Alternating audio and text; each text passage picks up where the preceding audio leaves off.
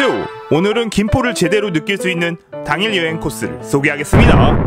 가장 먼저 소개할 곳은 김포 아트 빌리지입니다. 이곳은 자연 친화적 문화 예술 공간으로 한옥과 창작 스튜디오, 아트 센터, 야외 공연장, 전통 놀이 마당 등으로 구성되어 있어요. 다음 소개할 곳은 한정식 맛집 모담입니다. 이곳은 가격 대비 음식의 개수와 양이 잘 나오는 한정식 집으로 김포 금쌀로 지은 건강한 밥과 로컬 푸드를 활용한 요리를 선보이고 있어요. 소개할 곳은 수산공원입니다.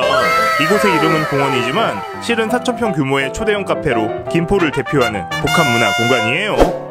마지막으로 소개할 곳은 라베니체입니다. 이곳은 김포 한강 신도시 중심에 조성되어 있으며 수로 공간의 이국적 건축물과 유럽형 수변 테라스 공간이 매우 화려한 게 특징이에요. 지금까지 김포 여행지에 대해서 알아보았는데요. 김포 당일 여행 코스 여러분들에게 적극 추천하고 싶습니다.